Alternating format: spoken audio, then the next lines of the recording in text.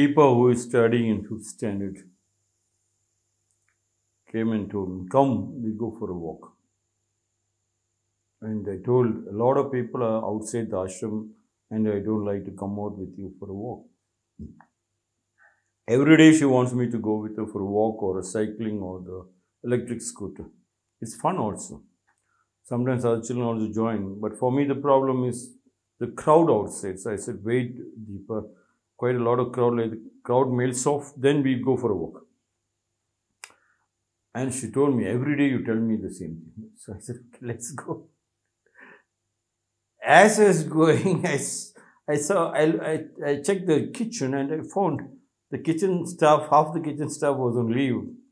So I said, let us peep inside. We peeped inside. There is dosa making going on. We made those. And we were sweating and sweating and we were, how the dosa is making, we to bend and turn and twist and taking this thing, taking that. That is a big exercise. Yes. And the kitchen staff felt very happy. We started melting into that. So it's not only the walk that melts our heart with our people that is more beautiful than in the gymnasium and on the outside road walking. Bhagavad Gita, the holiest of the holy book of the Hindus. It melts when you start talking because the moment you touch the name of the holiest book, Bhagavad Gita,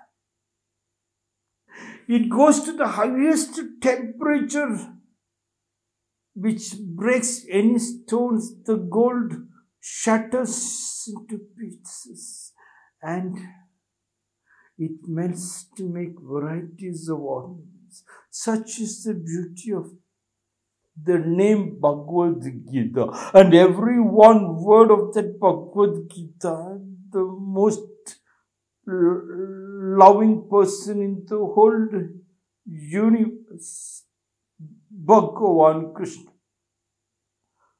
is like a beautiful song. Today, the 30th, 13th quote. Detachment from material things is the way to inner peace. Detachment, material things. The, let us look into the material things. What is material things? The material things are the things which you have gone and borrowed. The material things are your friends. Detachment from material things is the way to inner peace. And when you are with your family, from the day you are born, that attachment becomes a way of mastership. And it, that attachment is not killing, but it is blooming. Hence, there was a lot of people who felt hotekichu. What is hotekichu in English? Jealous of that attachment with you and your mother and the father, with you and your brother and the sister, with you and your family, and the joint family and the family. There is so much of that attachment is making it so beautiful, so powerful. Even God's felt Otekichu. What is Otekichu in English? Jealousy. Detachment from material things, when you get detached from that, when you are forced to get detached from that particular connection of your mother and your father, that you sit together and eat always, you make like how when I, Deepa, went to the kitchen and we made the dosa and we felt it was beautiful. When your husband and wife mother and father, children together cooks and sit in the same plate and you eat. That attachment is godly. When you detach from material things, detach is what Krishna said, detach from material things which you have not practiced from your childhood. It's the waiting when you get detached from your friends. Friends are there, but it is temporary. But your relatives are your attachment. You, you're frightened to go deeper and deeper because when you go deep, you get lost in your relatives. And once you're lost, all your selfishness, all your robbery, all your dirty mind vanishes, and you will get only pure people are frightened of their purity. Detachment of the way to inner peace. When you get detached from your books, when you go to the school, go to the school. But when you enter the house, get detached from that material. The material what you studied in the school is not your own. It is a borrowed knowledge only for you to understand what is happening in the world. Taking the best out of that, how the duck catches the prey, it goes down and along with the sand, it catches the prey and it leaves the sand out.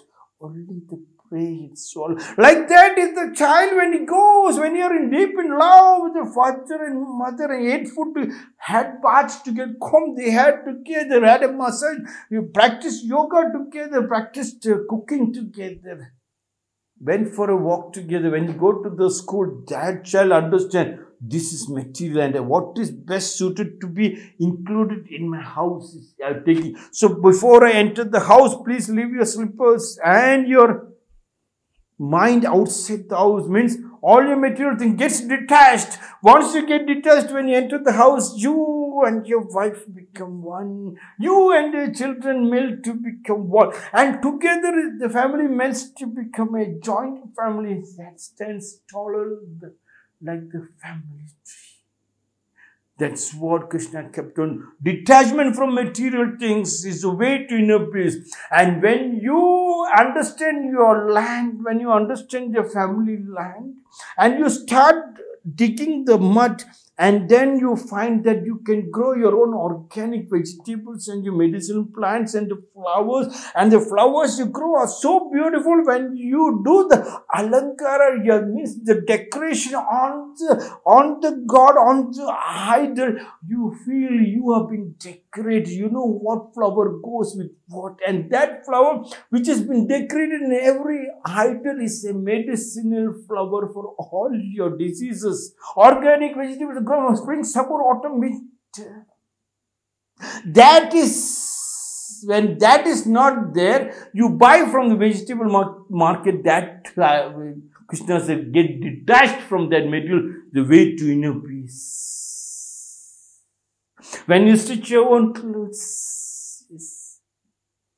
that is the beauty of it. And in that attachment of your family, automatically you get attached to know when God has given us so much, the earth is provided enough for man's needs, but not for his greed. And the greed is your material thing. You leave the attachment of what God has given the rainwater harvest. You collect the rainwater.